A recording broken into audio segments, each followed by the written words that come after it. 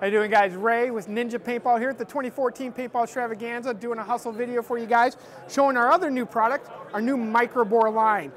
Microbore's been around for a while, hasn't been in paintball though, so we looked at it and decided to try to make a straight remote out of it.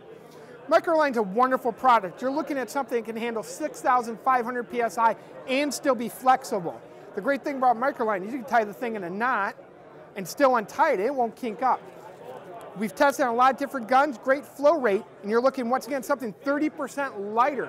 Lighten up your system, lighten up what you're carrying.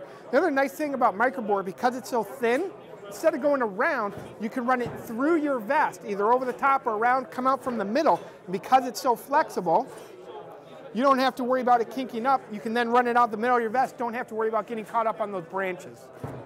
Remember, check it out on hustlepaintball.com. Have a good one, guys.